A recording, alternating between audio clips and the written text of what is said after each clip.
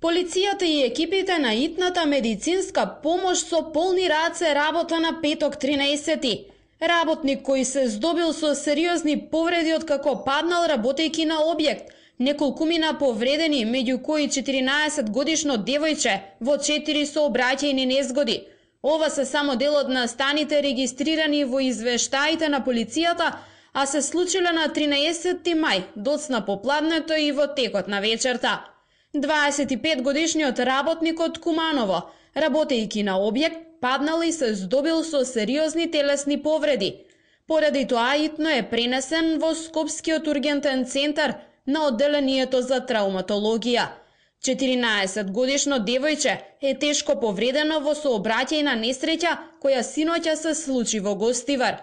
Во несреќата учествувале автомобил Ford Escort и мотоцикл, а девојчето било сопатник на мотоциклистот.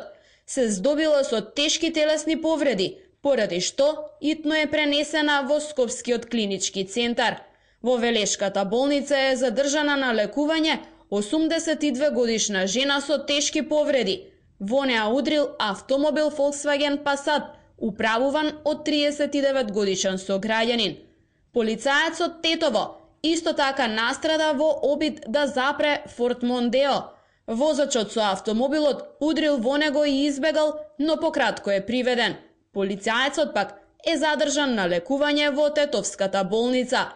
32 годишен скопјанец е задржан на интензивна нега во градската општа болница во Скопје поради повреди во градниот кош. Во полицијата вчера било пријавено дека сопругата за време на семејна расправија му ги нанела повредите со нож. Полицијата направила увид на местата на несреќите и се превземаат мерки за нивно расветлување.